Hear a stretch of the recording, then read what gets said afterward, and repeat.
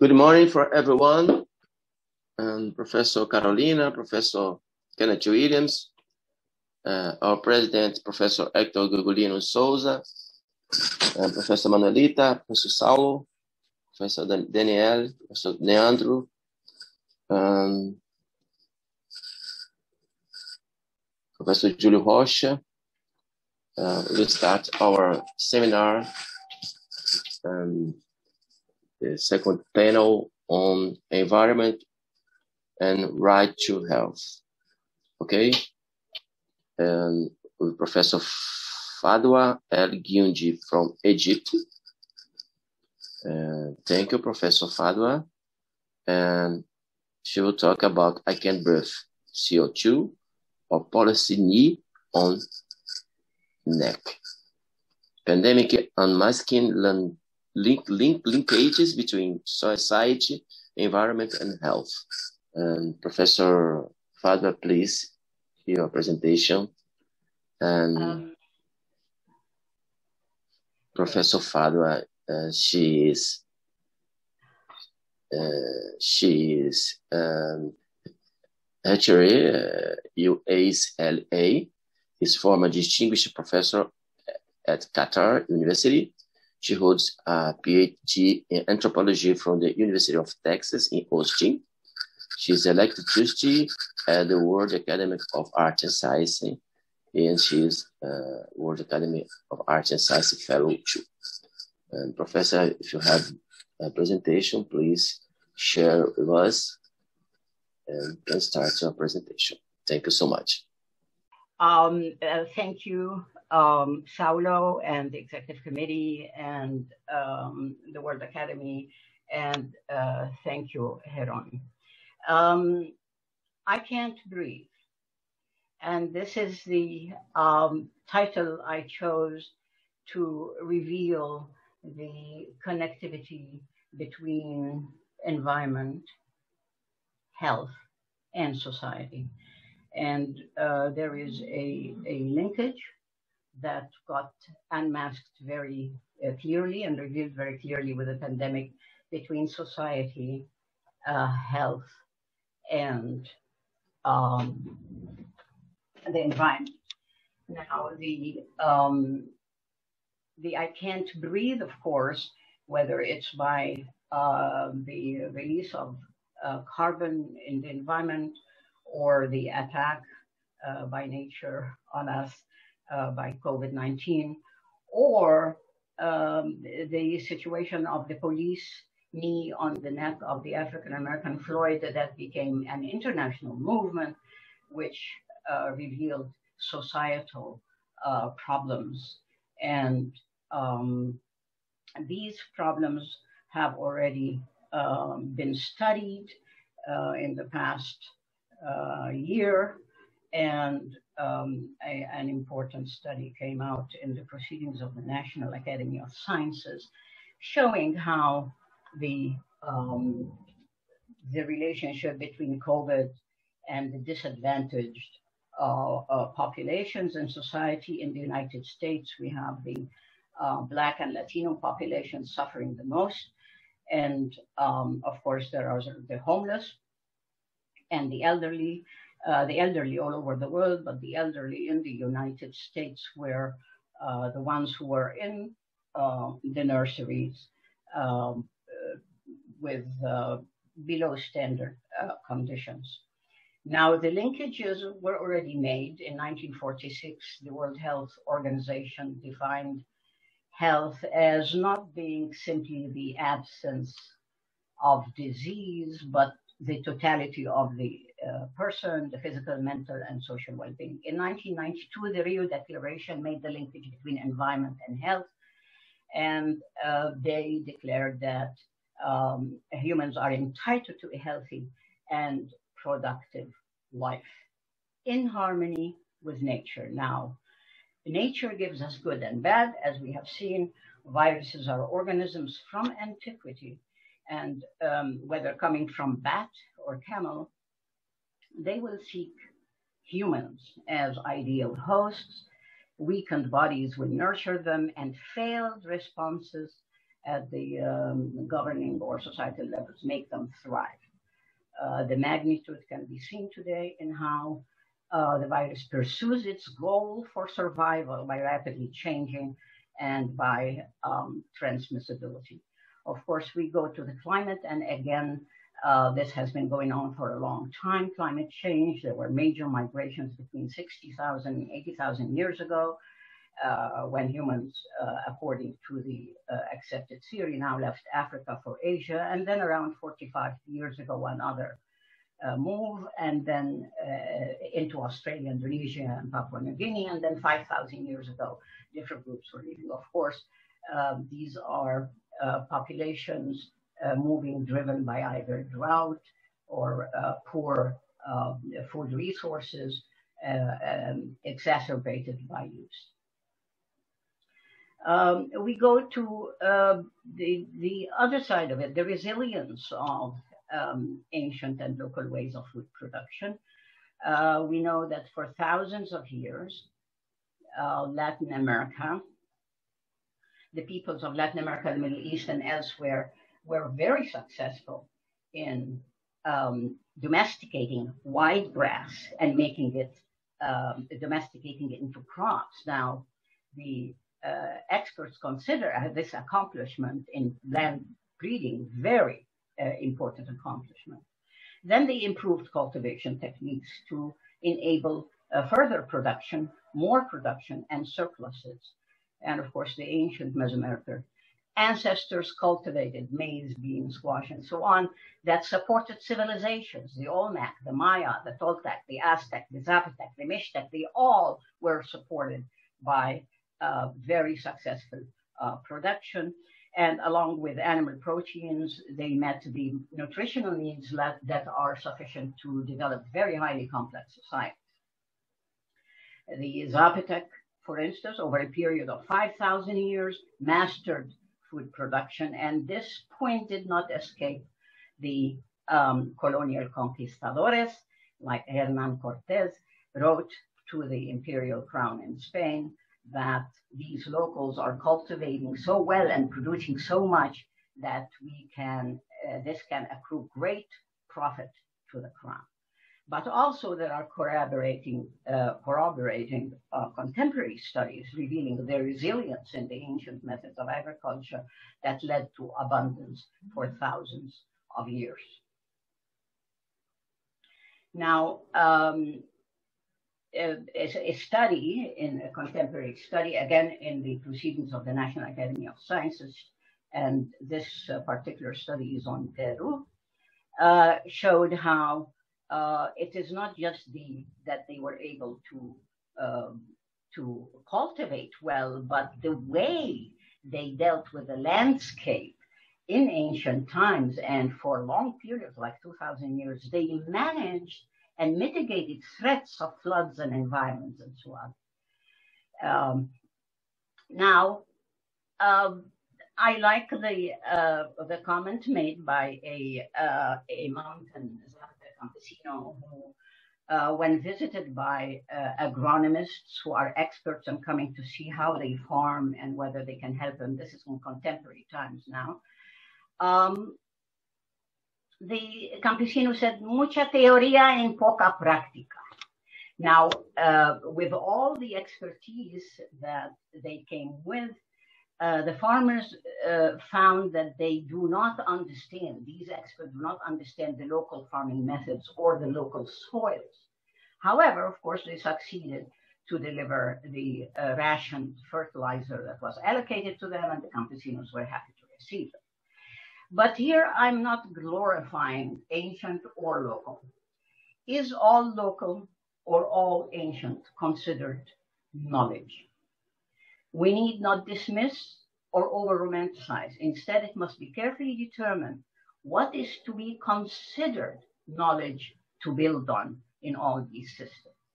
And modern technology is a useful tool which our cognitive capacity can creatively deploy to build flexible plans to minimize damage.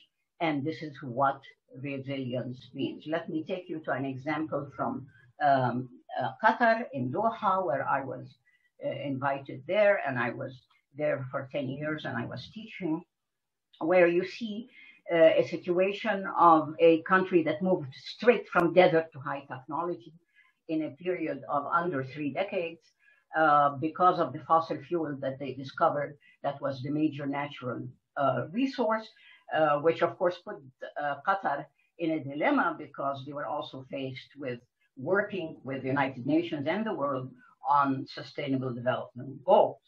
Now, the picture you see to the left is uh, that area in 1982, and as I point here, uh, this section is the same section here in 2012. When I took that picture, you can see what happened uh, within uh, three decades. This is sudden and dramatic, high technology. And when I go to the classroom, my uh, students were wearing the latest watches, were holding the uh, latest um, um, mobiles and the latest computers, and the classroom had such high technology I have never seen in the United States. Now, we go then, are they learning with all of that? And uh, the students come, uh, they know exactly how to use technology better than me and, and anybody else of my generation. And they would present PowerPoints in the classroom, um, uh, picking images from Wikipedia and the internet, and then putting their own uh, voice uh, accompanies the presentation with um, memorized statements. If I stop them to ask a question uh, from a very uh, robotized uh, presentation, I find that they are really not able to engage, and they seem not. They seem to me that they don't understand what they are uh, presenting. So I called the administration and I said, I want the classrooms to be, all the technology to be removed from my classrooms. I want a whiteboard and colored chalk. And of course, the administration said, we don't have chalk in Qatar. And I said, well, if you can get your breakfast from Paris, you can get me chalk. Next day I had chalk and I changed entirely the way to teach because of the situation in Qatar where they went straight to technology without the gradual building of knowledge, the gradual building of identity, the gradual building of a worldview that would enable them to receive. It's not only infrastructure, but knowledge. Uh, as example, I'm talking about knowledge and infrastructure. Next door to them, we have ancient Egypt, where um, their identity is woven by uh, worldviews that tells them stability can be achieved if you combine uh, justice, um, life, and governance. And uh, but of course, this kind of stability is throughout um, a generation. The continuity is broken by historical events, by political events, and most recently, uh, the people had uh, in Egypt had two revolutions back to back, one in 2011 and one in 2013, both by what I call street democracy, um, given that the um, political institutions were not uh, active at that time. And they were in, to the left here, they were asking for Mubarak to be removed, the president, and to the right, they were asking for Morsi to be removed as president. There were about 30 million in the streets of Egypt. Now, five minutes, uh, please. They, this is a kind of a chaos that's produced, but then uh, Egypt has since 2013 uh, started to um, revive itself, build new institutions of democracy with uh, checks and balances, and bring in technology and build roads and so on. So the point here is you have to take the historical moment of a uh, country when we're talking. Um, we were um, faced with a, uh, a um, virus, and as you see, all these variants, and some variants uh, cause reinfection, and some variants um, uh, uh, defy um, the um, in, immunity, rapidly, constantly changing, aggressively transmissible, evading immune systems. So nature programs organisms to survive and multiply. But nature also gave humans more cognitive capacity for flexibility and creativity. Creative resilience is fighting programmed resilience. So what have we learned very fast in conclusion?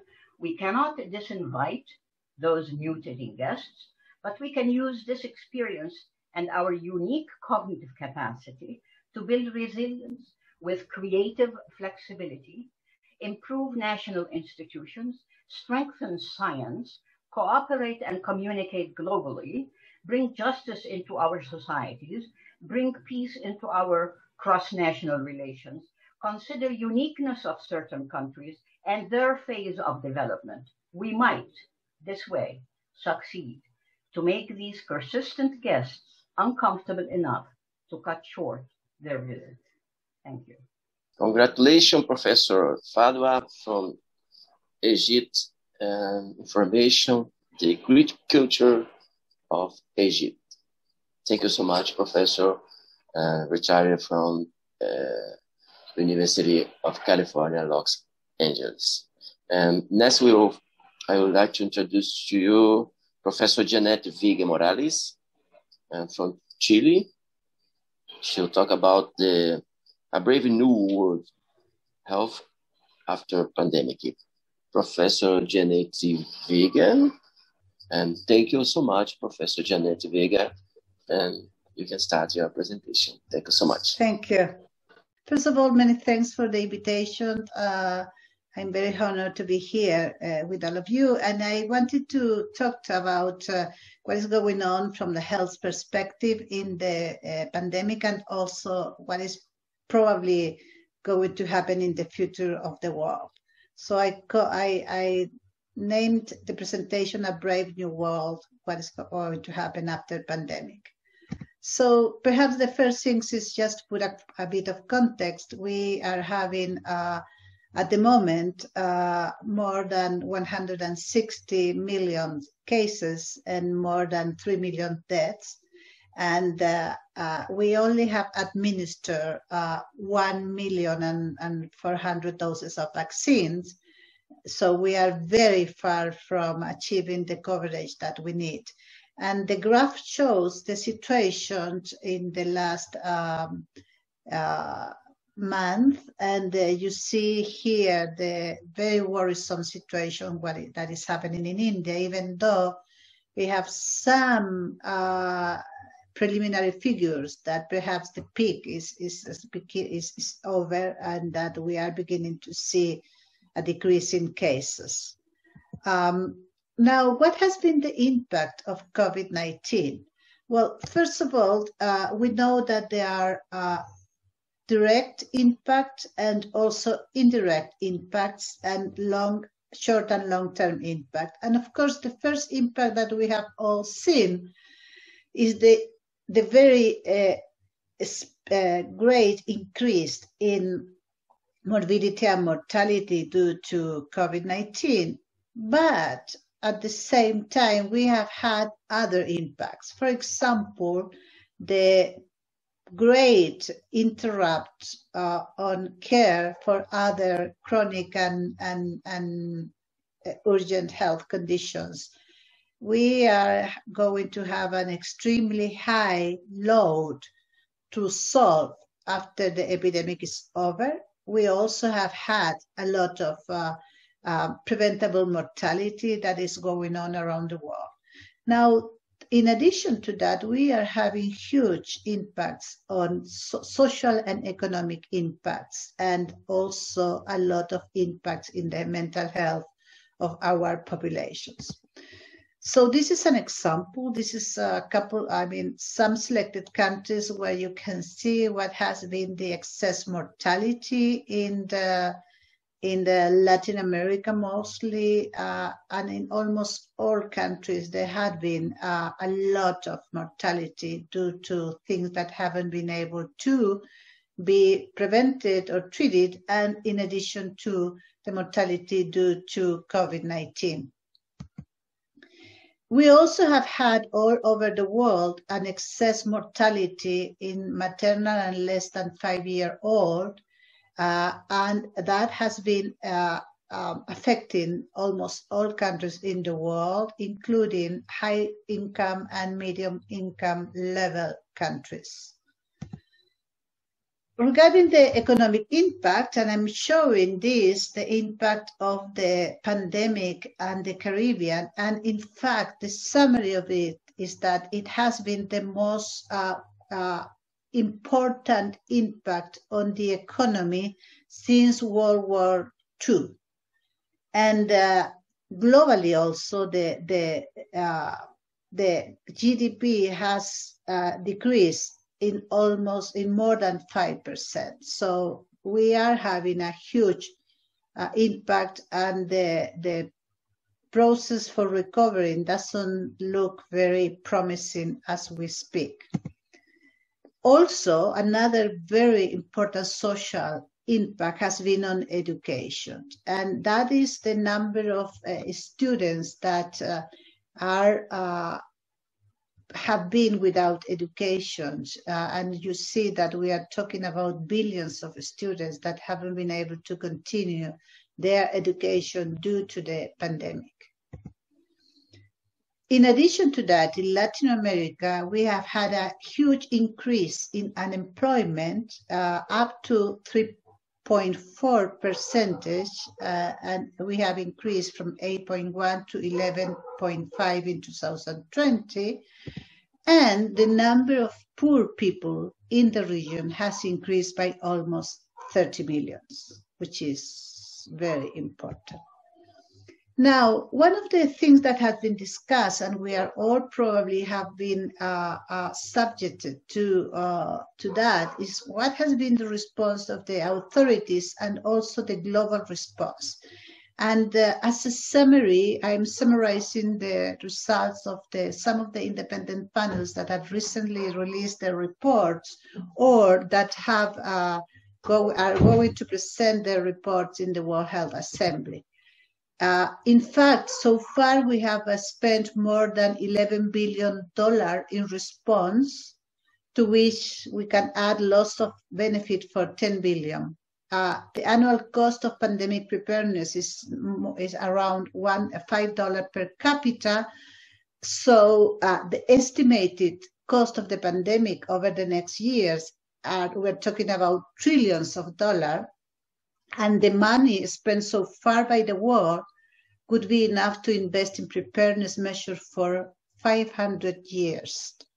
So five-year prevention and preparedness expenditures are measured in billions, and the cost of the pandemic so far ran into the trillions of dollars. Now, the global what, what the pandemic has also shown us that the global architecture for preparedness and response is completely fragmented, disorganized, and uncoordinated which has led to uh, a collective failure. And that's the summary. The global response to COVID 19 has been a collective failure in prevention, preparation, response, and prior, prioritization of actions. But in addition to that, and colossal failure in terms of global and country governance.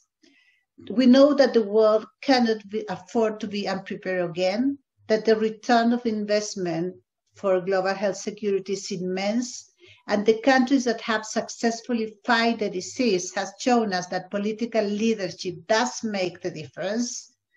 There has been lack of transparency and accountability by global and country leaders, which has deep, deepened the trust of the populations. And we have uh, painfully uh, learned that outbreaks begin and end in communities, so communities need to be involved. And we also know that no one is safe until we're all safe. So we need, in fact, an international framework for health emergency preparedness and response that perhaps can replace existing fragmentations. What is the future now? Well, the challenge is to rehearse the future and prepare for a range of possibilities. And if we imagine the world in a couple of years from now, uh, there has some things that have changed that will probably uh, stay with us. First of all, the social distancing is going to be manifesting in different form, and that will be part of our life. That will be the new way that humans interact. We are in a society that is becoming much more socially contact, contactless. The daily life uh, will probably uh, become uh, much more uh, digital, and that could be a good thing. The elite, we are basically having two different worlds unfolding with a small elite completely disconnected, and the rest of us that are basically struggling with uh, coping with the new global architecture. At the same time, it's going to be a bipolar response, a very hyper-connected world, but on the other hand, all of us are increasingly using local services from supermarkets to health. A huge distortion on how young generations shape their life and how they perceive the, the world, and also a danger of a societal surveillance state, which has happened in some countries. So we basically, if we have to summarize, we could say that we, we will have to manage the uncertainty in, in three uh, time horizons. First of all, uh, at the short term, what is going to be our quick actions, in particular to secure that we can recover from the epidemic? Next, what, what are we going to, to do to look for new opportunities? And then how are we going to transform in particular our health system to better respond? And in, in, to do that we need to think that we need to probably reshape the way we, we work when we have pandemics. We need to make sure that we recover from the impact of health we need to make sure that we put in place measures to recover from the economic impact. And also we need to change the way that we govern our global architecture. We need to advance towards health in all policies for real, a new model of resilient health. And then, of course, uh, we, we have uh, painfully learned that health, it is in fact at the center of the development agenda which means that we need to learn how to really work together from the different sectors, including education, uh, labor, Five sustainable minutes. development, and, and, security, if we really want to change uh, the way that uh, we uh, uh, cope with this type of catastrophes. So that is what I wanted to share with you, and uh, the rest can go uh, for the discussion. In summary, I would say that we are confronting a crisis of unprecedented uh, extent, that we should be learning, hopefully, from this crisis that the world has changed and there is a pre-pandemic world and an after-pandemic world, and that we need to get ready to make the best of the world that is uh, upcoming. Thank you. Thank you so much, Professor Janete Vega, for your presentation. Um, thank you so much. And uh, I'd like to introduce you Professor Kenneth Williams. Uh, he is professor at the uh, South Texas University Law School in Houston, United States. And he'll talk about uh, Black people and COVID-19 in the uh, USA. And Professor Kenneth Williams is, uh, I told you uh, before, he is um, graduate at University of Virginia School of Law and professor at South Texas College of Law, Houston, where he teaches criminal law in procedure, evidence, capital punishment, international, international human rights, in international criminal law. And in addition, he is teaching responsibilities. Um, Professor Williams is also a national expert in capital punishment. Professor Kenneth Williams, thank you so much to accept our invitation.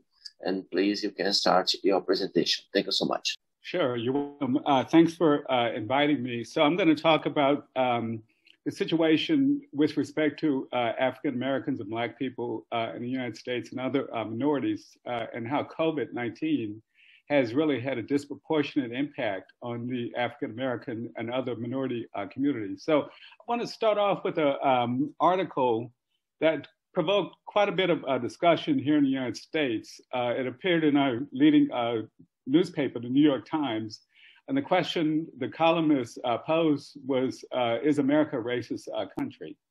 And uh, throughout the article, he talks about the history of the United States. It's undeniable that given the history of the United States, we clearly were a racist uh, country. But he points out, though, that uh, the racism, in fact, continues to this day. Um, he talks about the fact that America is not the same country it was but neither is it the country it purports to be. On some level, this is a tension between American idealism and American realism, between an aspiration and a current uh, condition. And the pre- precise way we phrase the statement makes all the difference. America's systems, like its criminal justice, education, and medical systems, have a pro white, anti black bias, and an extraordinary portion of America denies or defends those uh, biases. Okay. And so, um, he is correct in that uh, America continues to be a racist uh, country, and that has played itself out in how um, COVID 19 has impacted uh, the United States and also how it's impacted uh, Black people. So, just give you a little uh, context, which already been uh, discussed, but I'll go through it very quickly. Um, countries with the most COVID cases, of course, United States, Brazil, India, Russia, France, we have the most uh, cases. We also have the most uh, deaths in the United States, uh, COVID uh, deaths and uh, cases. Okay, in terms of race, Black people are second. 62 uh, Black people per 10,000 have been infected by the coronavirus, and Latinos actually have a higher number. And I'm going to get into some of the reasons later for this. And of course, whites uh, is much uh, lower, the uh, number of uh, cases involving uh, white Americans. Uh, COVID now is the number one cause of death in the United States. It eclipses heart disease, diabetes, everything else. it is the number one cause of death. Now, um, in terms of the cases by race, let's talk about that and COVID by race. Okay. Um, as you can see, uh, African Americans have died at a much higher rate of uh, COVID 19 than other uh, races. Um, so uh, many more uh, African Americans have died than other um, uh, than whites and even other minorities. so the death rate is much higher for Black Americans than it is for other Americans, and that's not really surprising given some of the information I'm going to talk about next. Okay, so why is that? Why do we have so many uh, Black people dying of uh, COVID? Uh, well, one reason is that uh, they're more likely to have what's called comorbidities, uh, conditions that would make them more susceptible to dying of uh, COVID 19. So African Americans have a high rate of diabetes, as you can see here. United States has a high rate in general of diabetes, and African Americans have an even higher rate of uh, diabetes than any than most other uh, or some than uh, certainly uh, whites. There's a high rate of uh, diabetes and other uh, minorities also. high blood pressure is another cause of um, of COVID-19 deaths, and African Americans have a high rate of um, also of high blood pressure. And then obesity is another reason why so many Black people have uh, died from. Uh, it's, it's, a big cause of uh, deaths from uh, COVID. And the United States is, uh, has a high rate of obesity, and also African Americans have the highest rate of obesity uh, in the United States. So, what has caused this, um, these comorbidities to be more prevalent in the Black community, and what has caused more Black people to die from COVID? Well, I would submit that it's been structural racism uh, that has caused these uh, high numbers of uh, deaths in the Black uh, community. Structural racism is basically where you have laws that have been enacted which end up uh, dis- uh, disadvantaging Black people and people of color and advantaging white people. So let me go through just a few examples. where structural racism has really caused the is the main reason for the disparities in both uh, cases and deaths and comorbidities. Okay, there's been uh, because of structural racism, there's been a disparity in exposure. African Americans are more likely to work in what, what, we term essential jobs. Okay, so these tend to be low wage uh, jobs, home healthcare workers, waiters, Uber drivers people who are exposed to the public, okay, uh, they don't really have any opportunity for social uh, distancing.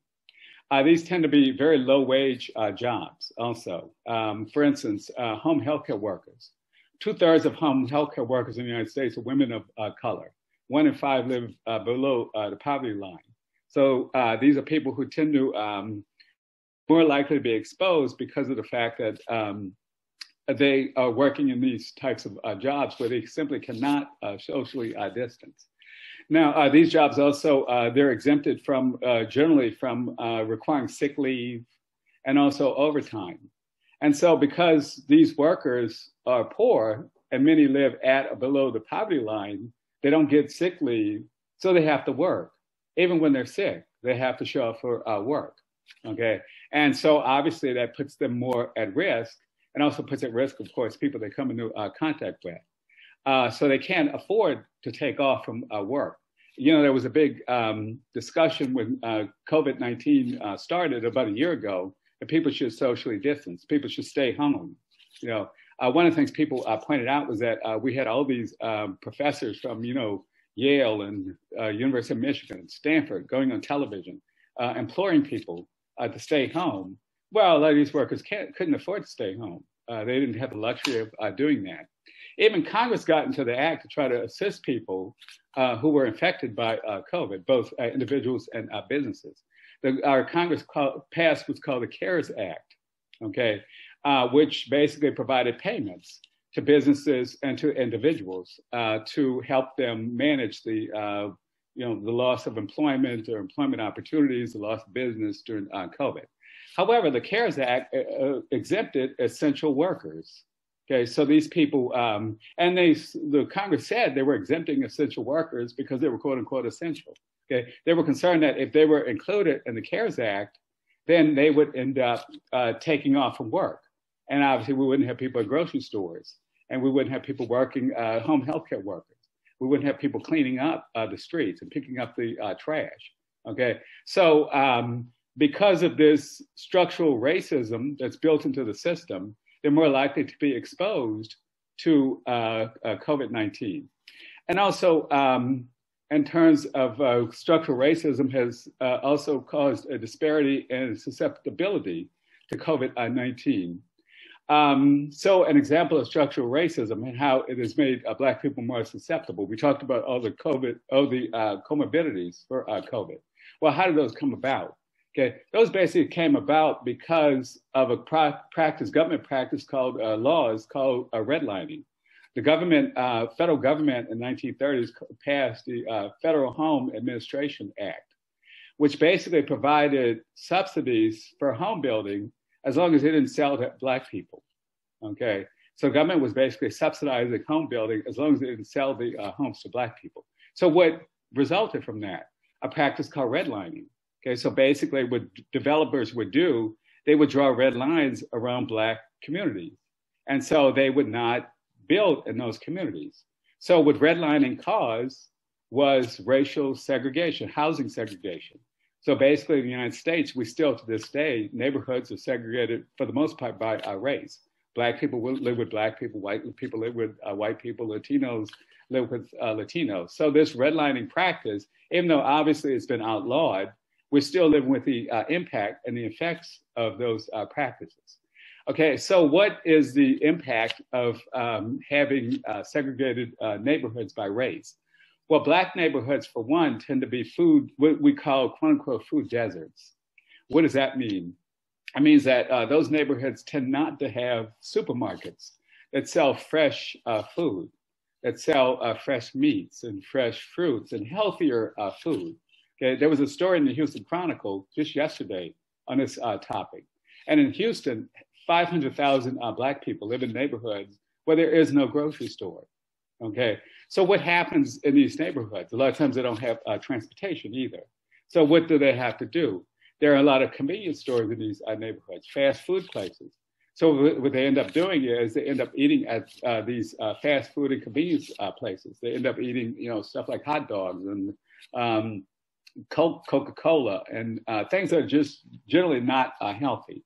So what happens when you eat this kind of uh, food? Well, what happens when you eat this kind of food? You're not eating healthy food. You're eating, eating high sodium, high fat types of high sugary food. You develop high rates of obesity and diabetes and high blood pressure. So that's basically where those comorbidities derive from, the structural racism that derive from the redlining uh, practice. So we have white neighborhoods where grocery stores and supermarkets markets are plentiful.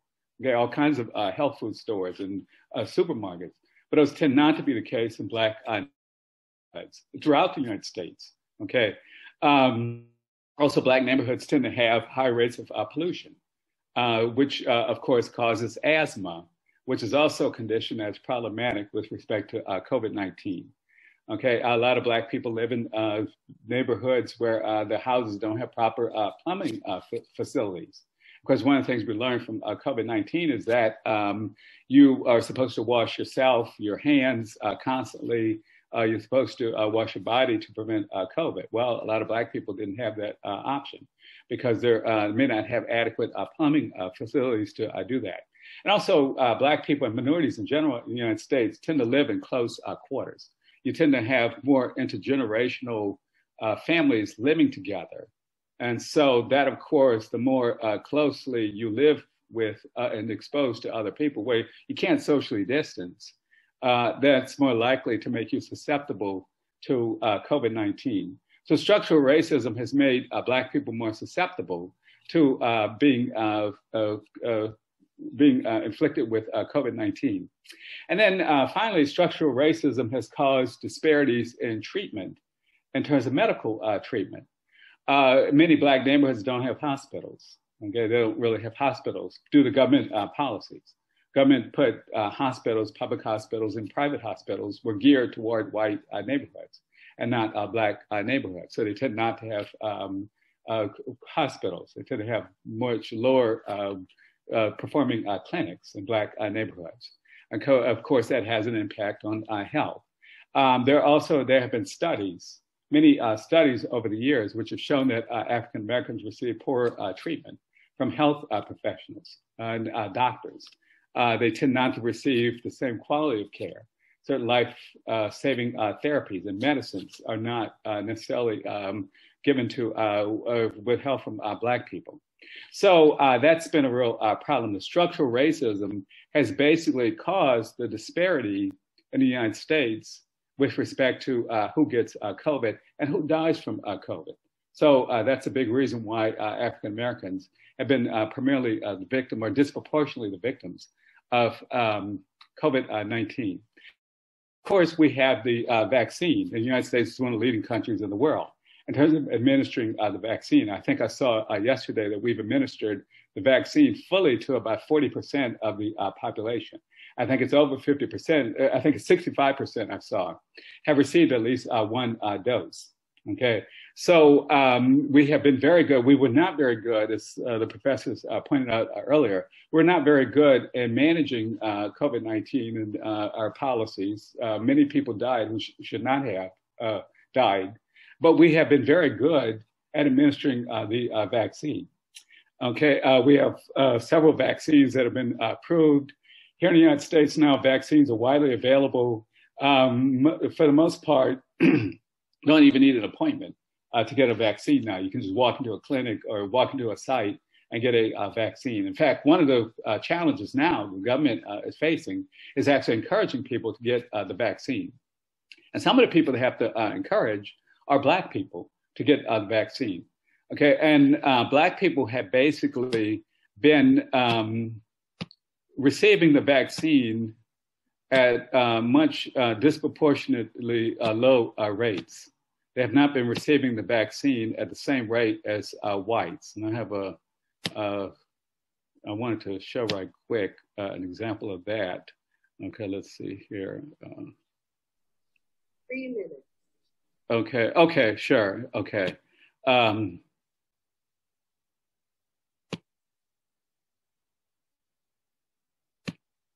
okay. Yeah. Here you go. So, um, in terms of the vaccine, there's been a lot of hesitancy in general in the United States uh, to the uh, vaccine by some populations. And it's especially been uh, the case with African American um, population.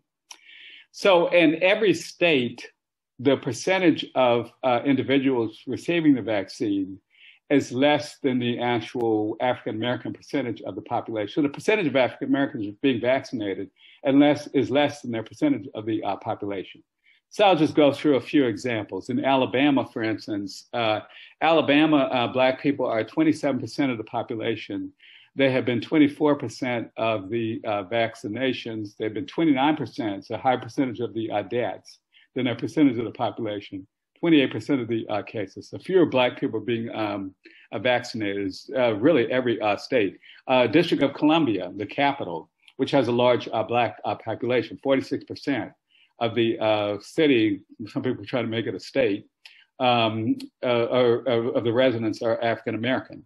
Uh, but only 31% of those have been uh, vaccinated, whereas they have been 70% of the uh, COVID 19 deaths in uh, the District of Columbia.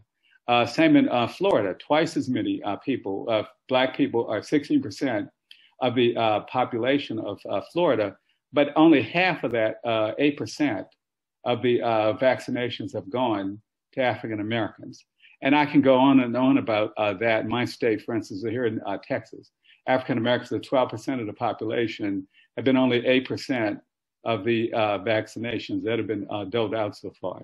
So, uh, and that's a recurrent pattern, like I said, throughout um, the United States. So that vaccine hesitancy is especially uh, problematic in the uh, Black uh, community, in the African American uh, community, and there are reasons for that. And so let's talk about some of the reasons for that. Well, one uh, reason is that African Americans tend not to be as have as the same computer access and internet uh, access. Okay, and initially one had to be pretty savvy to make an appointment. All the appointments were basically done online. Uh, and so you had to have a computer, you had to have, have to have, have been computer uh, savvy in order to even schedule uh, an appointment. We talked about the fact that African Americans, uh, the work schedules uh, tend to, uh, they work in quote unquote essential jobs. Then I, their work schedules aren't flexible enough to get the, allow them to get the vaccine. Okay, and then um, transportation issues. A lot of Black people have transportation issues. And then we talked about the discrimination uh, in the uh, by medical professionals. So there's a real distrust in the United States among the African American uh, population. But one of the main reasons for the uh, distrust is what's called the Tuskegee uh, study, which occurred in 19, from 1932 to 1972. It was a study done by the U- United States Public uh, Service, Health Service. Okay, and this was the ad that they put out offering. they were recruiting um, black, they called them Negro males back then. Okay, and basically the gist of it is that time is over. Okay. Time is over. Okay. So okay, so uh, but the hesitancy results from this Tuskegee uh, experiment, uh, where Black people basically were not given treatments for syphilis, when in fact treatments were available. And uh, so uh, I'll go ahead and uh, stop, and then I'll take any questions later about that. Thank you so much, Professor Kenneth William. I know that you have a lot of information for us. Thank you so much for accepting the invitation from Houston, Texas. And Professor Kenneth William, he is a friend of Brazil. And it's a pleasure, it's an honor to receive you, Professor Kenneth. And I would like to introduce you, and uh, I'd like to, uh, uh, to sympathize with um, and more than one billion of family who deaf people yeah, a lot of people die in around the world. So uh, I would like to sympathize with this family first. And I would like to introduce you to Professor Carolina Leiva um, from Chile. She'll talk about uh, animals and dignity, a critical analysis. Professor Carolina Leiva is a lawyer Master in Animal Law and Society at the Autonomous uh, Universidade Autônoma de Barcelona, PhD in Law candidate at the University of Chile and the uh, uh, Universidade Autônoma de Barcelona, uh, public uh, policy and and public and legislative advisor, lecturer, author, and researcher, and PhD Scholar Fellow at the National Research of Development Agency Government of Chile. And please, Professor Carolina Leiva, thank you for coming. Thank you very much, Heron, and thank you very much, everyone. You hear me? Uh, yes? Perfect. Yes, okay. Um, thank you very much for the invitation. Um, my presentation has uh, not quite uh, to do exactly with the topics that have been very importantly be shown in this uh, in this uh, seminar and especially in this part of the seminar. But if you think that maybe our relationship with animals or with nature in general uh, can be seen in a different way after all the situation of COVID and all the shows about uh, human rights, all the all what has been shown uh, about the unaccomplished of human rights are along the world, it, it is it, it invites uh, to a reflection. Well, my presentation, as Professor said, it's called about it's called animals animals on dignity, a critical analysis, and uh, it explores from a critical perspective the usefulness and, and pertinence of introducing the notion of dignity into the animal question. To this end, I explore the understanding of the concept of dignity as one that is status conferring and analyze the different positions that for and against are raised before uh, a possible ascription or recognition of dignity to animals. In different fields, the term dignity has always been considered as a notion that is status conferring, both in a moral and in a legal sense. In strict legal terms, the concept of dignity has been found legal positive sanction in various instruments, particularly in the field of human rights, both at national and supranational level having also achieved exceptionally legal recognition in the field of animal protection, for instance, in the Constitution of Swiss. The importance of the notion of dignity in the topic of subjectivity has been, uh, has been its understanding as a necessary precondition for moral patience, especially as a quality that belongs to a given entity to be the possessor of a value in itself, while at the same time it is an end in itself, which would imply the possibility of using the entity as mere means for the fulfillment uh, of the ends of the others the contrary. While many have argued in favor of using the notion of dignity in order to promote or improve uh, to promote an improvement in the moral uh, and legal status of animals. Nevertheless, there are some have shown the limitations that that possibility of predicating dignity with respect to entities other than human persons would exhibit. This is because historically, however, is whoever is in possession of dignity is in a superior position with respect to the whoever is not, and the concept carries an important normative burden of duties to be observed in favor of the dignity, dignified subject. The secularized notion of dignity reached its pinnacle as a cornerstone of Western thought through Kant's notion of dignity. Indeed, Kant used the notion of dignity qua quality as an entity to be an end in itself, as the central axis of his ethics. Only persons have dignity, which makes them an end in himself, as opposed to things which, why there are no, with each why there is no impediment to treat them as mere means. This affirms the idea, which is still deeply rooted in Western philosophy today, that only people have dignity, while things in turn have only a price. According to this, only human persons will exhibit the capacity to be holders of rights and duties, both in the moral and in the legal sense, since the necessary precondition for this will be the possession of dignity. So considering all this, it is not difficult to see the reasons why those who advocate for animal rights are inclined to use the term of dignity on the matter. Two, two possible reasons could be advanced here. Firstly, because the understanding of the animal as an end in itself or as endowed with intrinsic value will make it possible to establish a new normative range of direct duties to animals, as well as limitations on their use.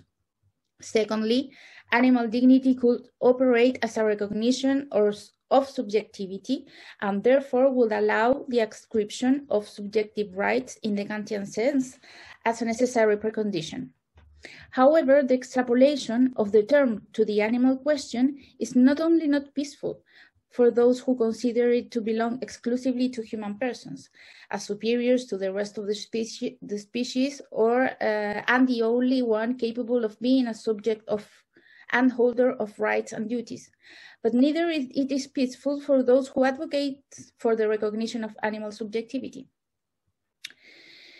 Thus, within the propositions that promotes animal dignity, it is possible even to recognize different positions. Firstly, one can find a, a position that is directly seduced by the idea of animal dignity. Secondly, one can find a position that it's, while it's favoring to the use of the notion of animal dignity, does it so with some reservations or hesitations. And thirdly, uh, there is a position that rejects the idea of animal dignity as rough and of, on, and, of and of a little use. And finally, a position that rejects the idea, warning on the dangers that the use of the concept of dignity in the animal question could entail for the good health of human rights.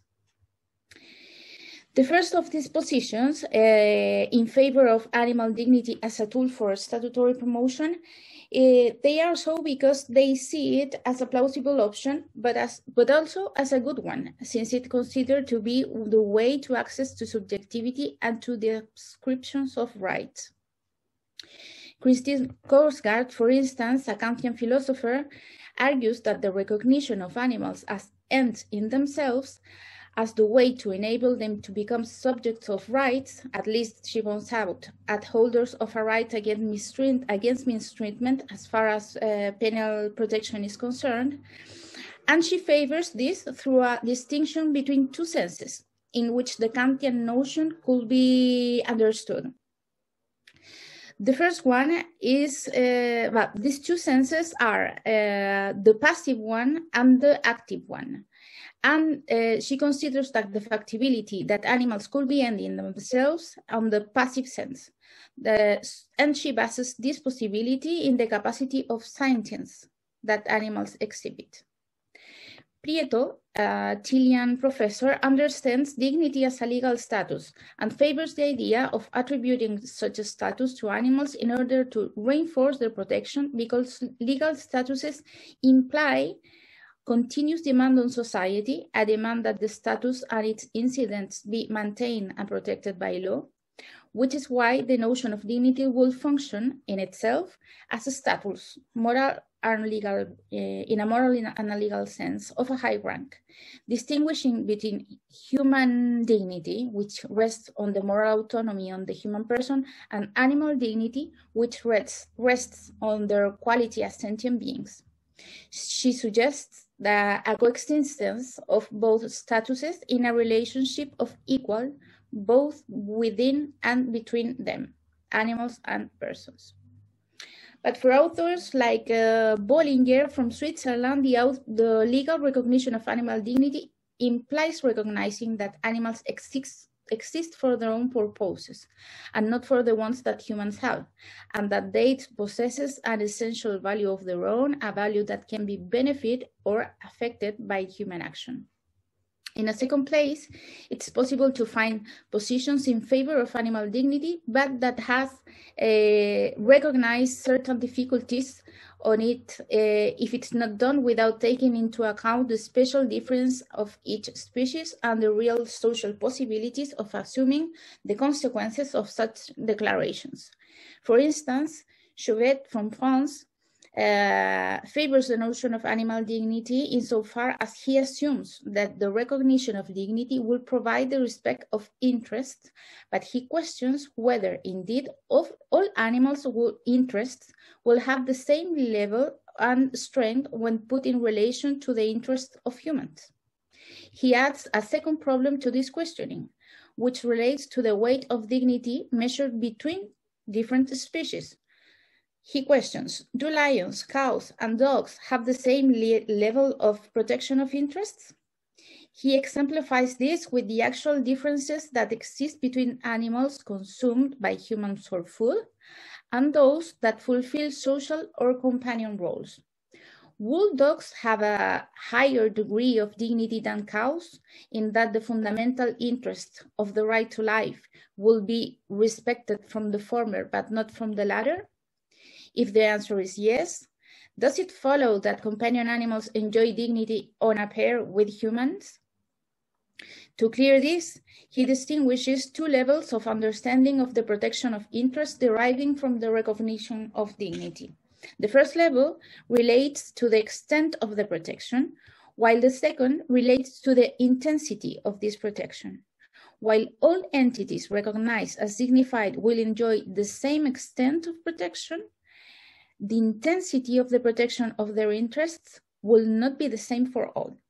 For instance, in the case of the protection of life, it, it is easy to appreciate an absolute intensity in the case of human beings, a lower one in the case of dogs, and an already much lower in the case of cows, despite the fact that the protection extends to the life of all of them.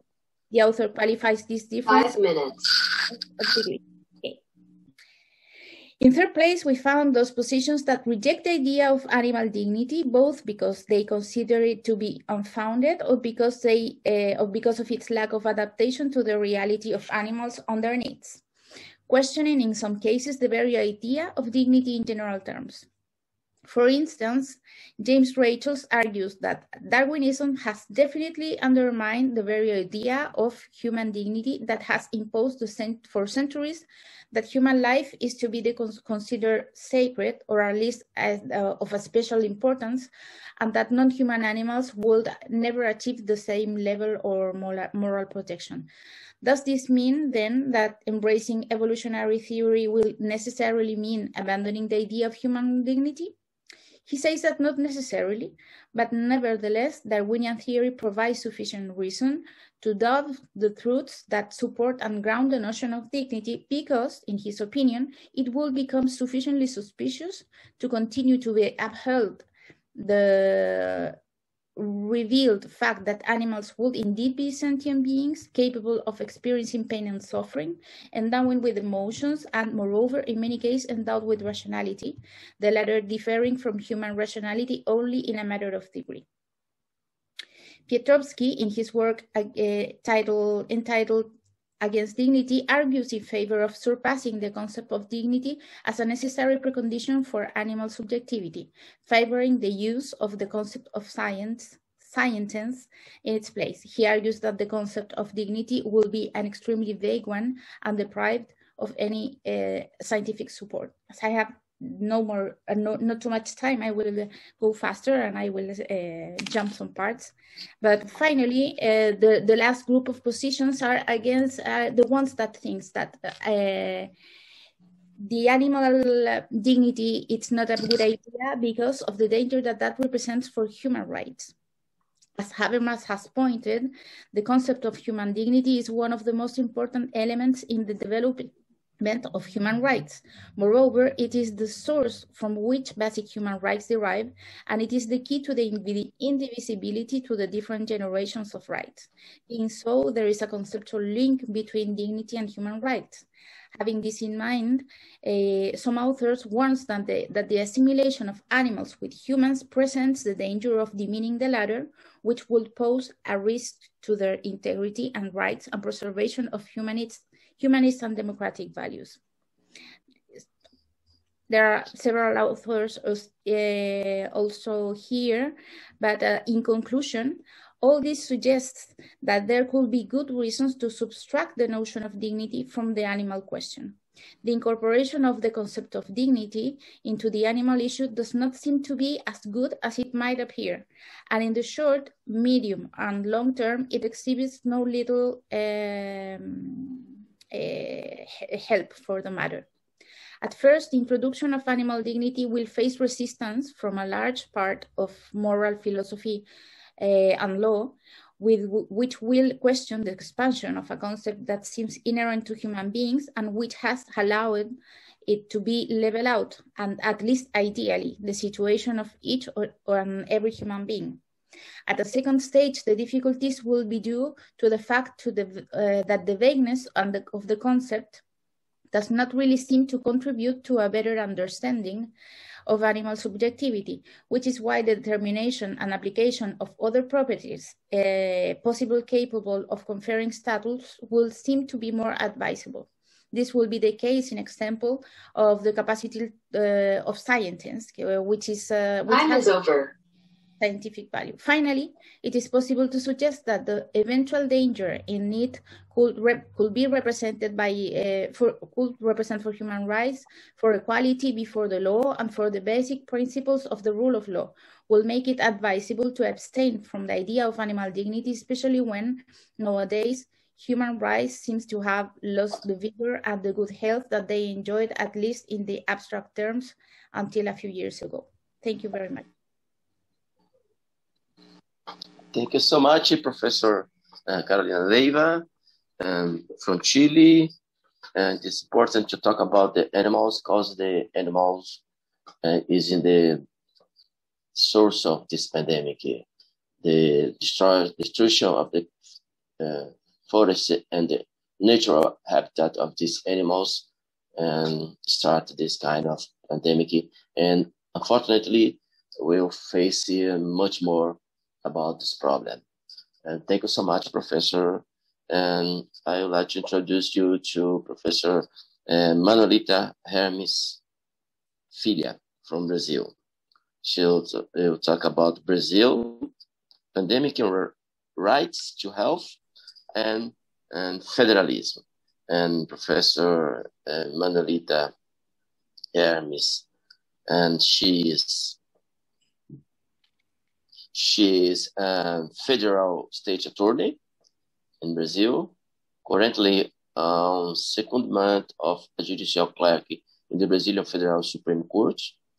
And she's PhD, candidate in law at the Università degli Studi di Roma, Tor Vergata, uh, hold a master in contemporary, uh, contemporary legal system, Università degli Studi di Roma, Tor Vergata, and has specialized in constitutional, constitutional justice, Universidade de Pisa, and in state law, Universidade Federal da Bahia. And thank you for accept our invitation, Professor Manuelita Hermes, and, and please start your presentation. Thank you, Professor Ron. I have shared my PowerPoint presentation here. First of all, Perfect. I'd like to say, okay, great. First of all, I'd like to say many thanks to the organizing committee for inviting me to this brilliant event. It's really a great honor for me being here. Thank you very much. My presentation is a preliminary uh, outcome from a paper that I'm writing about the pandemic and the, and the federalism here in Brazil. Let's change to the next slide here.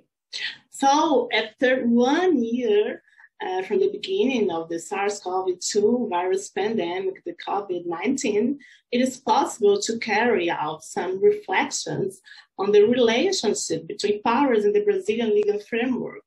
Uh, in particular, on the relations between the federal union and the other federal levels, there is the state members, the federal district, and the municipalities.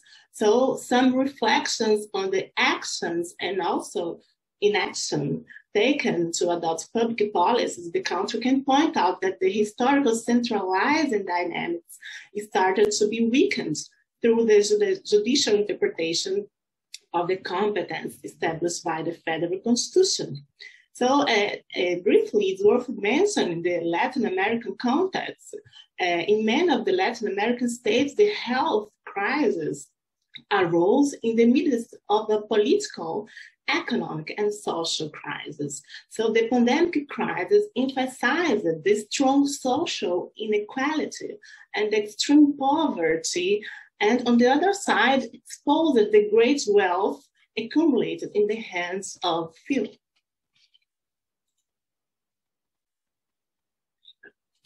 So uh, in Brazil, the federal constitution specifically dictates an emergency rule. However, the federal government did not resort to the exceptional constitutional provisions. So therefore, to deal with the pandemic, each branch had to act in order to provide measures such as specific status, constitutional amendments, coordination of public policies, and also the judicial review the three branches needed to pave the way of facing the pandemic and its socioeconomic effects.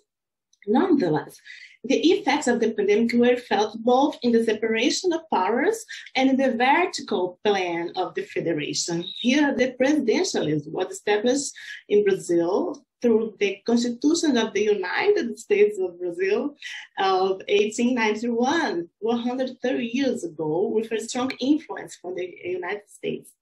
Constitution.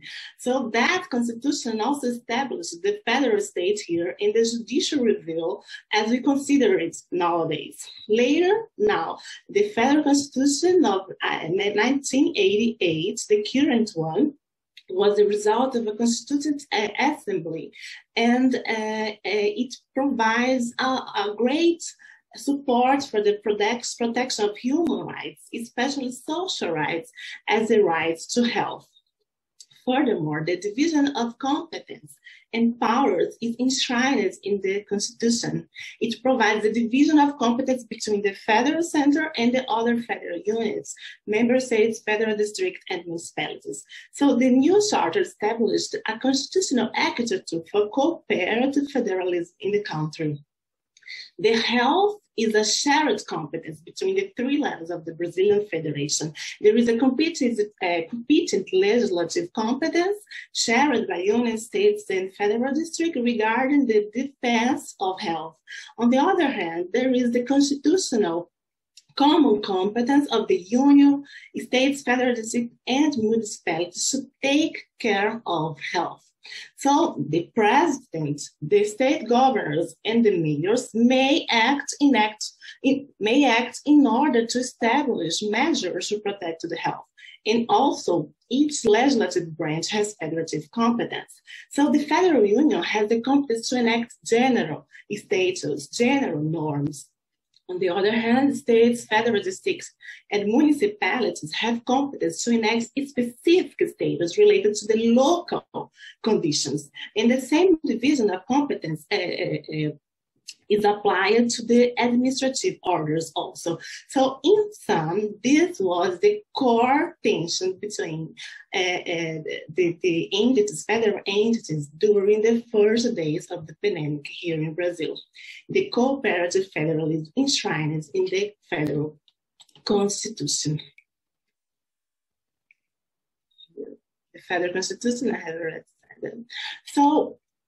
So the tension. How how can we can we uh, solve the tension uh, within the Brazilian uh, judicial architecture? The Federal Supreme Court is the highest court uh, that has the competence to discuss and judge cases related to the allocation of federal competence.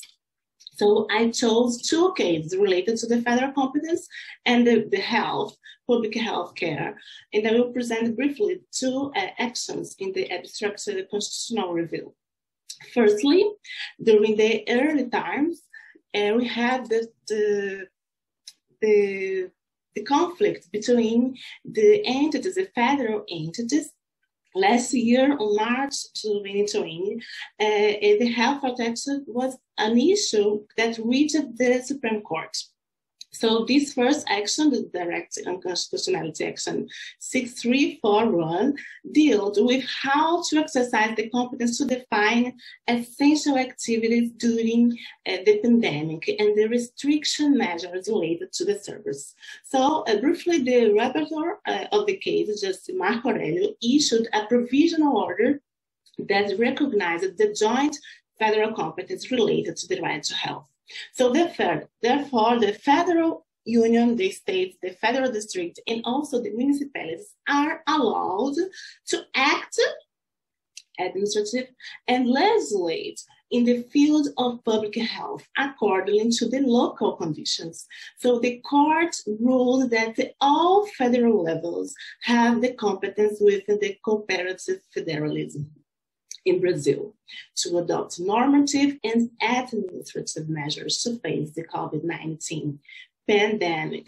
So I consider this case the most important one for defining the contours of the Brazilian Federation during the pandemic. Actually, it was the, the, the leading case, we can say, the leading case about the federalism, uh, the federalism during the COVID-19 outbreaks.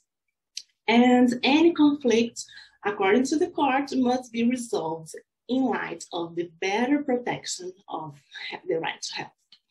And the second case I'd like to emphasize is related to the second phase of the pandemic here in Brazil. Actually, there are two actions, two direct actions uh, about the same problem. Once, uh, uh, once more, the court uh, uh, considered the omission of the center, the, the federal union. So uh, this case reached the Supreme Court in relation to the vaccination programs.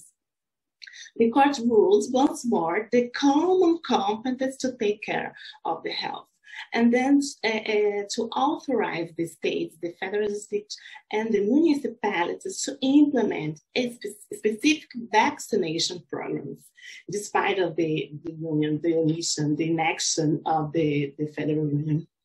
So the competence of the Ministry of Health to coordinate, so the, the cooperative therapist, the Minister have has the competence to coordinate the, coordinate the national immunization program and define uh, the vaccines that are part of the national immunization calendar, but the other entities are authorized to establish the, the program and also to uh, to buy vaccines. So Uh, as we can see, uh, this, the context of the pandemic, the context of the COVID-19 pandemic here in Brazil, uh, so demonstrates the a real crisis, a real federative crisis within the Federalist attitude. The Supreme Court, since the beginning, as I said, the first case that I related was from last year, and this, the other one, uh, nowadays this year. So the Supreme Court, since the beginning and still nowadays, has played the role of a federal constitutional court and has fixed the constitutional exegesis of the Brazilian cooperative federalism conception with focus on consolidating a greater balance uh, between the federal entities. So the debates over federalism here in Brazil outline the tension, the tension between the constitutional rhetoric and the political reality of the federalism. The court reinforced the comparative framework provided by the Constitution with the federalist competence and recognizes the need for respect uh, of this competence without subordination between each level each uh, legal order, we can say.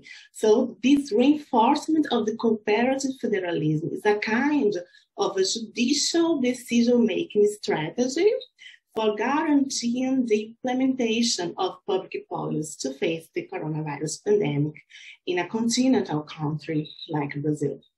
So the COVID-19 pandemic has changed the dynamic in the federal relations in Brazil.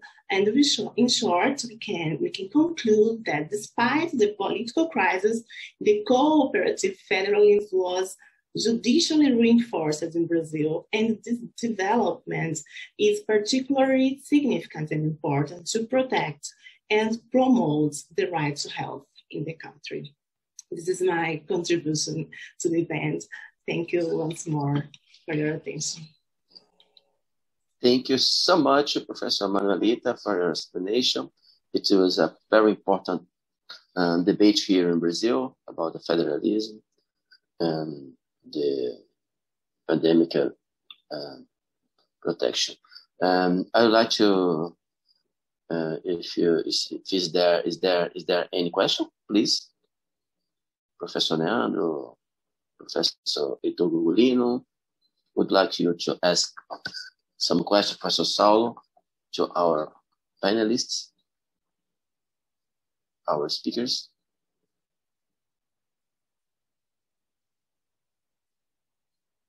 Professor Dani. Oh, yes, please, Professor Heron. Thank you very much.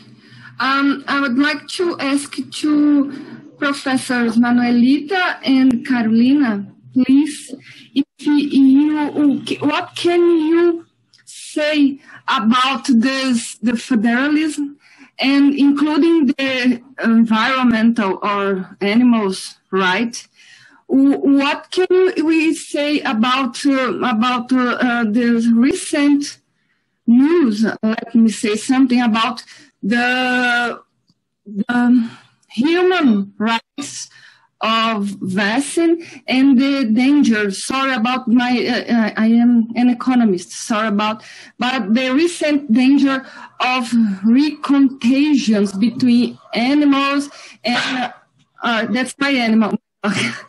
about the, the, the recent uh, dangers of human versus animals and if he, there are uh, there is there are some uh, um, how can I say some laws some rights uh, that are being talking in Brazil or, or, abroad. Sorry, I'll be to my dog is.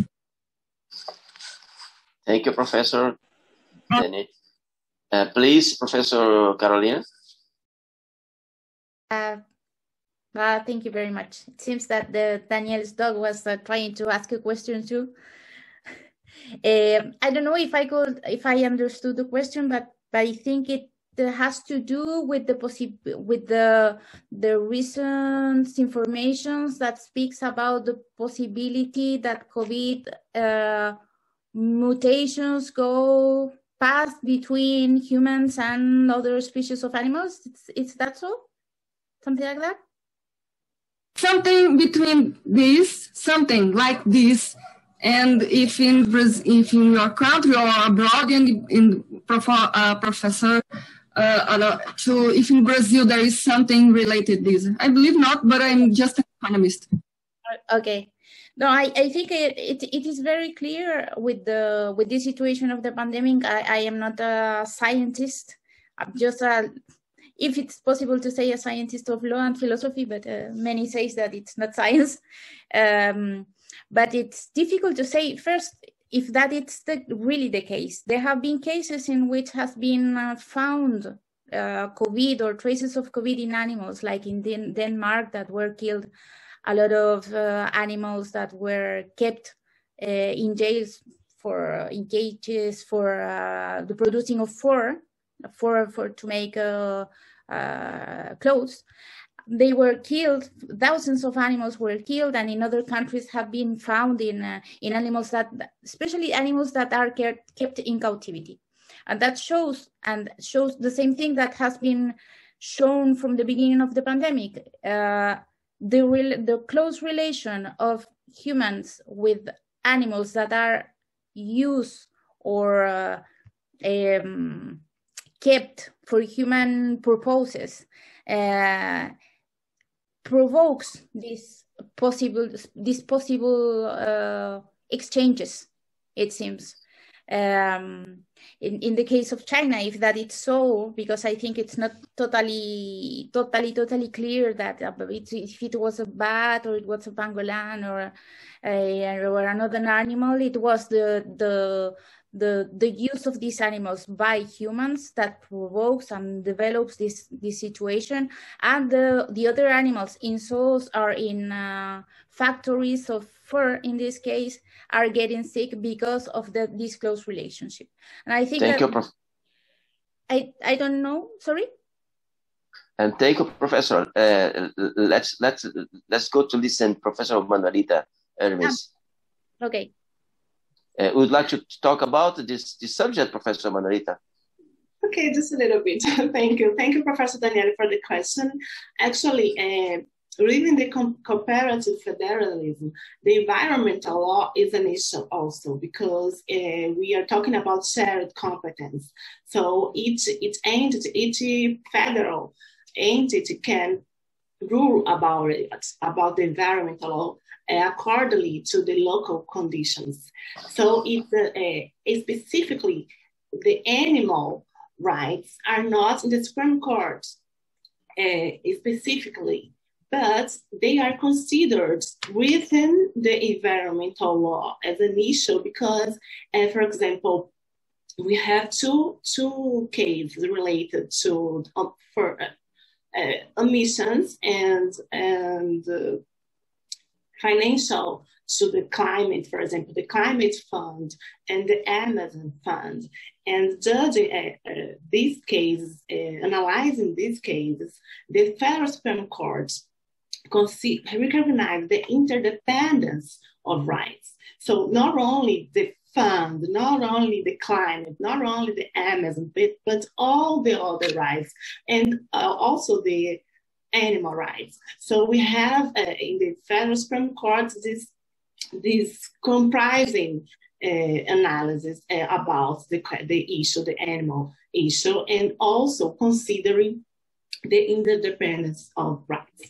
I don't know if I answered your question. Thank you. Um, thank you, Professor Manuelita. Uh, I, I, would like to um, to ask to Professor Kenneth, Professor Fadwa, and Professor Jeanette um, in here in Brazil, we face a, a lot of problem about the debate and, and ideological division, divide, and a lot of um, political problem to face this pandemic. So we are the, the second one country in the world with almost four um, four uh, a thousand hundred and millions of uh, uh, people died. And in the world, you have more than three trillions, three, three billions of, of people um, died. Uh, uh, uh, three millions, three millions of people died. Sorry, and and United States have a, a very big, the biggest GPD around the world, 20 trillions of dollars. Brazil is just one trillion. Um, why, Professor?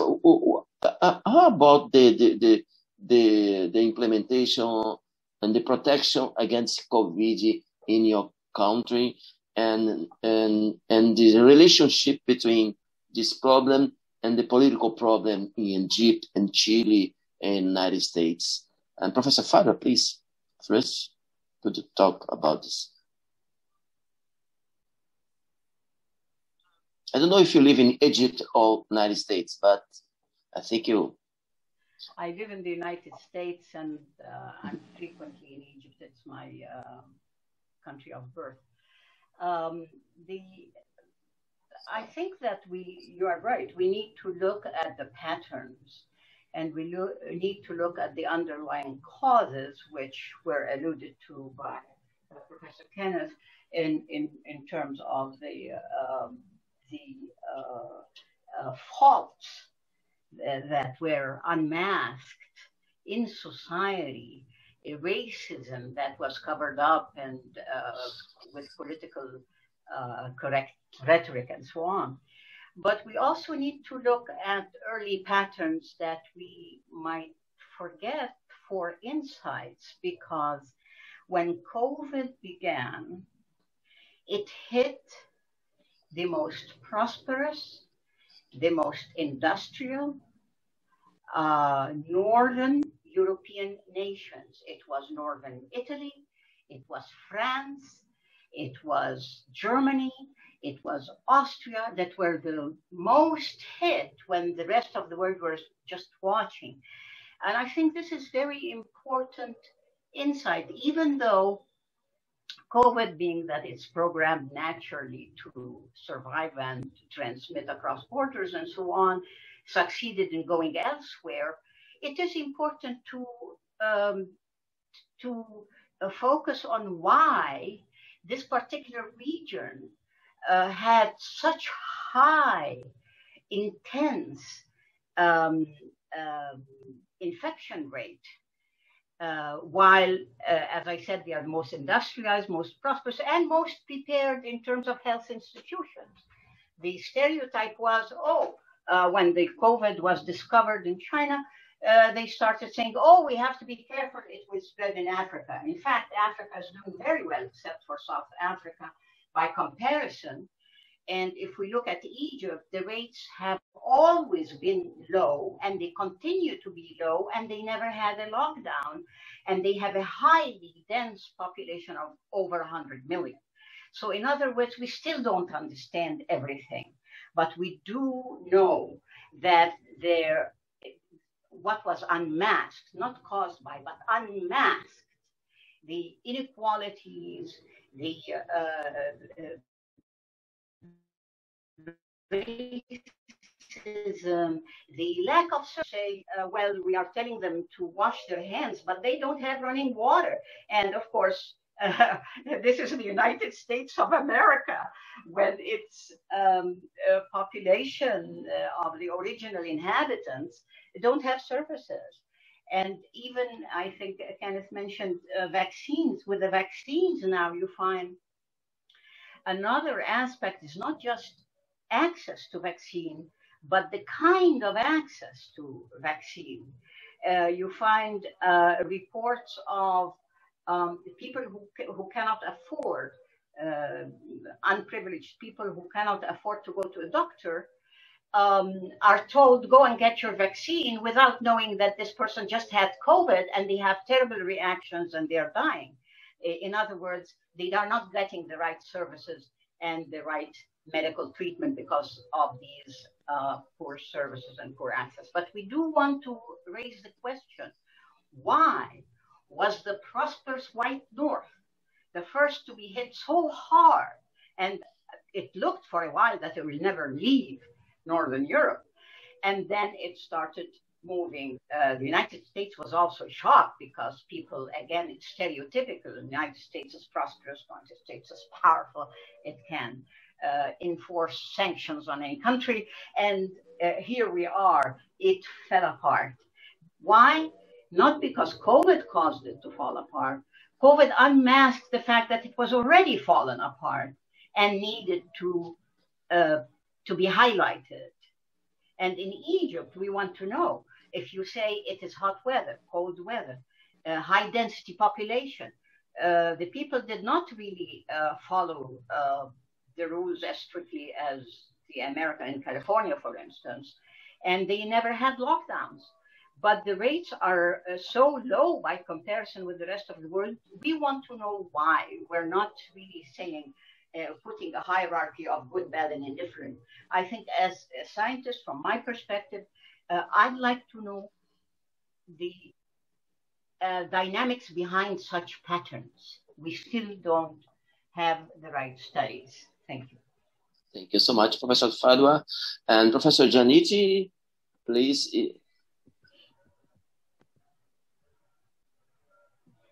Yes, uh, thank you. Um, well, um, there are a couple of things that I'd like to discuss. The first one is that uh, the, we are far from the epidemic being over. So my hypothesis would be that there are countries that haven't been affected yet, but they will be affected. I mean, in India, they were saying exactly the same that than Fadwa is saying, and look what is happening now. So this is an issue that is probably most related to the way that the virus translates more than the issues of different susceptibilities. Now, one thing respect to policy that there had been two type of responses and therefore uh, uh, uh, level of people um, um, affected. The first one, of course, is that those countries that have had the recent experiences on, on, on, on outbreaks that had been devastating have done much better. And the example is the people in Africa uh, that, that had the Ebola epidemic, and then people in Asia that have had the, the SARS epidemic. And those countries, those people were the first to Im immediately implement a zero COVID policy instead of mitigation.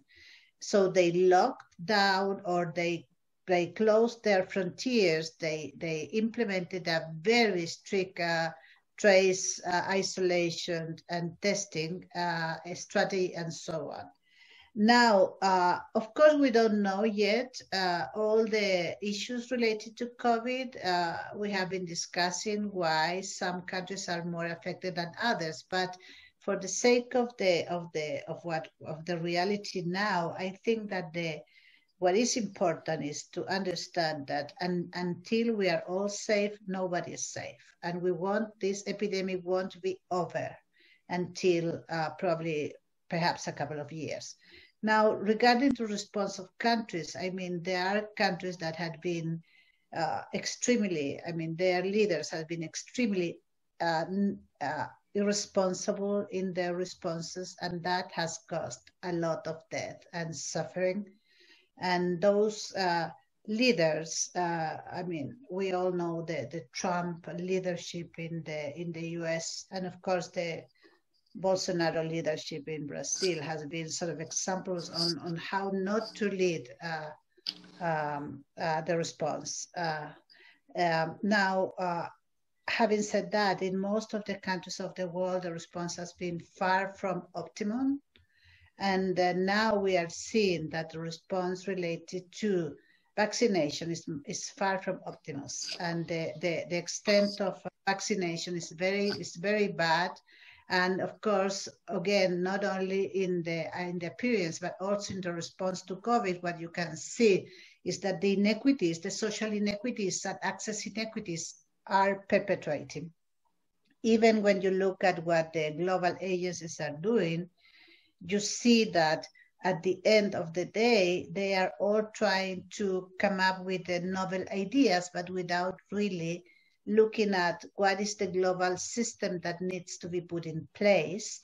And so there are like 1,000 committees, commissions, task force, and so on, but uh, adding to the fragmentation. But until now, still not a unified response. There was a report last week, released last week, of the independent panel that basically assessed the response of WHO and others. And the, the the report is, is devastating. And the recommend, I mean, but that, okay, that's fine. Our time is over. Sorry, Professor. And Professor Kenneth, please. Yeah, um, so um, as Professor uh, Guindi uh, indicated, um, the um, COVID basically exposed the racism, took the scab off of the racism uh, in the United States. And uh, there's a saying they said uh, when uh, white people get a cold, black people get the flu. And it's always worse. Whenever there's a problem, it's always worse with uh, black people. And then uh, we also had, during COVID, we had the George Floyd situation, which really exposed the racism in uh, the United States. So at least now we can no longer pretend like you know, after Obama was elected, there was all this conversation about United States being post-racial, and we were beyond a race. And now we know that is no, with Trump and COVID, George Floyd, the continued shooting of black people, black men especially, uh, by the police, that we're not nowhere close to uh, post-racial. And as the article that I showed you pointed out, is America a racist country? It shouldn't even be a controversial answer the answer is clearly yes. And uh, he pointed out that um, it's not the overt racism, it's the structural racism that has been put into place. Structural racism means that um, basically you have laws that put into place structures that has created a racism. And I gave you some examples of that. And that has carried over to uh, COVID. And we're going to have problems in the future. Pandemics are other problems in the future that will be disproportionately borne by uh, people of color and uh, Black people. You know, it's been with every single uh, situation like that. HIV, I remember, and still to this day, disproportionately, who gets HIV? Well, Black people, okay, um, and Latino uh, people. So it's just a continuing uh, pattern. But at least now it's been exposed, and hopefully we can uh, continue to address these issues. And at least now we have a president who is not exploiting those racial, the, that racial uh, resentment.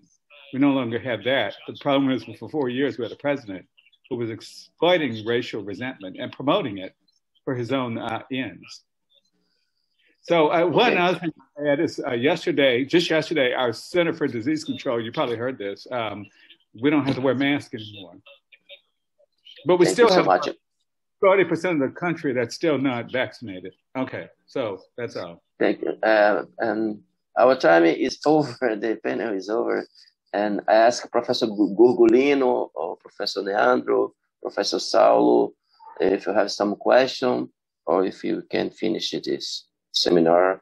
Professor Gurgulino, I would like you ask some words to our audience to to end our event, please.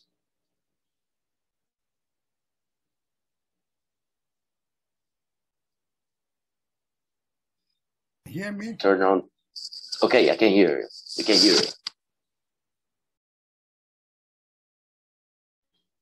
Turn on the, the, the microphone, please. One more time. Okay. Okay. Okay. Now, okay. Okay. Okay. Okay. Okay. Okay. I'm supposed to, to, to, finalize this program, but I'm, I'm, sure I don't have much time. Frankly speaking, I will. Uh, I will have to take a much longer time than we have available. And, and I would like to also see the papers which the participants have sent to the Secretariat, but unfortunately I don't have access to those papers. I took notes. I have here in my hand uh, about 20 pages. I cannot read them. It's too long. But I would like to, to mention some important points. I would say this meeting was important to look from Latin American point of view but also look at global issues. And then hopefully we could see more of what should happen in Latin America once we heard this very nice presentation that we, we had this morning and the last two days. Frankly speaking, Latin America is a special region, as we know. I think we should follow this webinar by another one later, examining the conclusions of this seminar and see what should we do, what action should we do to correct the issues which are affecting Latin America. I just got to mention one thing. Education was important, was mentioned as a fundamental issue here. Okay, I think of my country, Brazil. As you all know, we have a problem of illiteracy people that cannot read and write. Where, where can we train them?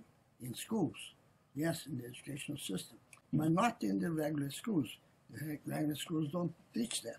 So, but we could easily do that. When I was rector on the Federal University of São Carlos in São Paulo, Brazil, I asked my teachers and education department if they could set up a training program for the literacy in the campus. We found about 15 people who do not read and write in our own university. So we organized a training program in the evenings. We paid the teachers, we provide them transportation as possible, and they were training. And finally, at the end of the training, all of those 15 people finally could read and write.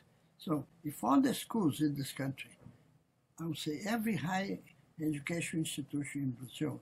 There are more than a thousand of them. They could organize training programs to help people read and write. Okay. The other issue we spoke about is quality of teaching of teachers for elementary schools. This is important. We should improve the quality of the teaching. Okay, this could be examples. I'm just giving you, I was supposed to give some words, some speech, uh, words in this occasion, the first try. And then I decided, okay, oh I better not do that. Let's, let's have my colleagues to identify what are the issues we should be doing. So I would say this. I start just with brief comment.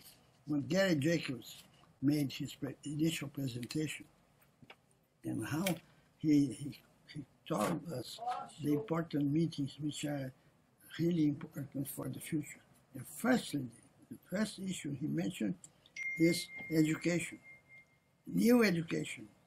A new education meaning a different education than the ones we had before the pandemic. How can we do that? So fundamentally, we have to think of how can we train the teachers, that's number one, to have good quality teaching. Second, as you probably know, some people mentioned, in some countries of Latin America right now, there will be elections coming up. And what can we learn from that? These elections, like happened already in the United States. Mr. Trump left, Mr. Biden came, and he has a different view. He thinks that the famous conference in Paris needs special attention because of the environmental issues. Fundamentally, this will be affecting the whole world, not only Latin America, Asia, Africa, Europe, etc.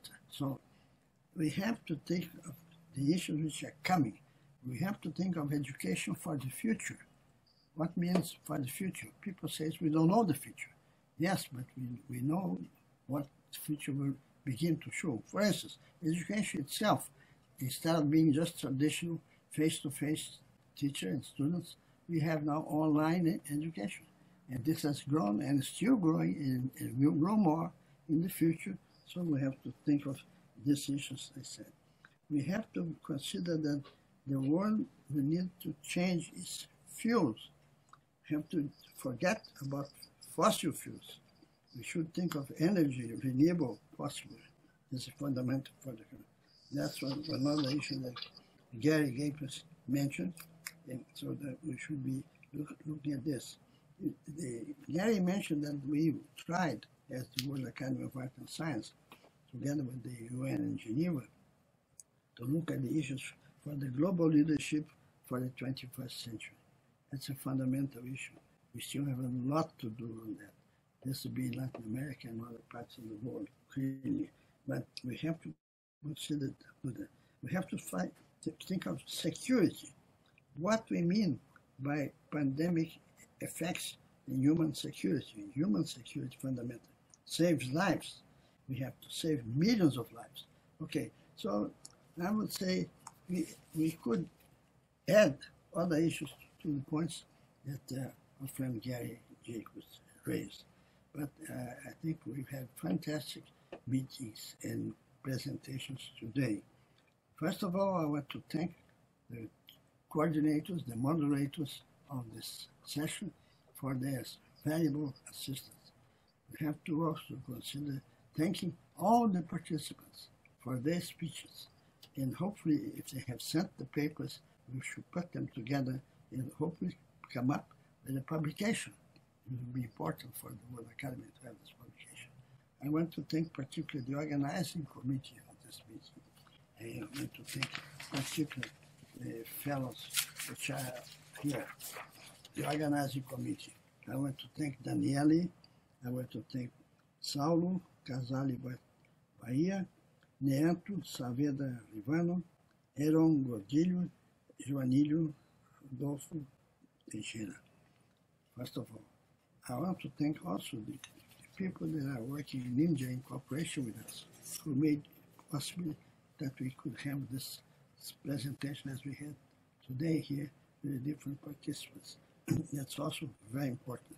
And I thank them. They worked a lot and we have many hours of work, which is important. So I would say I would love to do a detailed presentation, but I don't think we have the time. So uh, we will do it later, papers, send the papers to all of you. And, and also, after we receive the papers, it should be with the secretariat. So I used to be president of the World Academy of Arts and Science and of the World University Consortium. Unfortunately, I had to leave because you know, when you're getting a little older, I became in my 80, 90, 92, and I'll be 93 in one year, one month and a half. So I think it's time for me to devote some time to major issues, looking at what you have been doing and prescribing for all of us, and particularly if you think of education, this is an area in which I have worked for 68 years. So I, I, I love to hear what I heard today from the colleagues. So I want to thank you again. Wonderful, fantastic. Thank you, thank you, thank you everyone for your conduct this afternoon. Thank you, Leandro, and thank you, Saulo, particularly Casali Bahia. Thanks to Suvadva, thanks to uh, Luciana and Lucia. Hermes, and also thank the those that today made nice presentations. It came from other countries outside Brazil. We should also try to publish this to distribute to our colleagues in Latin America. Latin America is a great region in the world, but particularly I know in the area of education, it needs a lot of work, a lot of work, many, many hours, really uh, and unless we do it urgently, we'll have problems in the near future. So thank you, Mr. Chairman. I think I better stop here because I already closed my time, and I hope to contact you by email, and I will send you the publication of the, this particular meeting when as soon as we get all the papers ready. Thank you very much.